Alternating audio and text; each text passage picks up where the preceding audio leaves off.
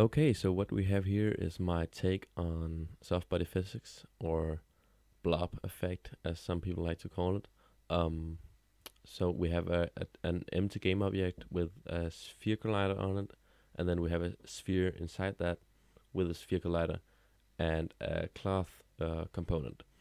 And if we open this down here, we can see that uh, we can put some uh, colliders in there, and I just put them in there. I have no idea what way I should do it, like if it should be the other one on top, but it seems to work. And if I uh, just play this, we can uh, we can see that it works, kind of.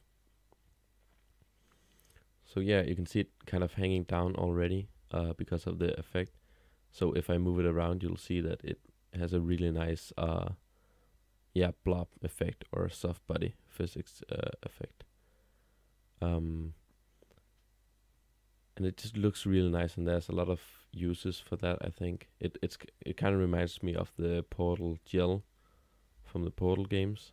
Um, I think if I, if I do it too hard, that it'll it'll fall out, uh, and I have no idea why. Maybe it's just it can't handle the the forces, uh, but maybe there's a, a way to tweak that so it, it doesn't fall out. Yeah, that it did it.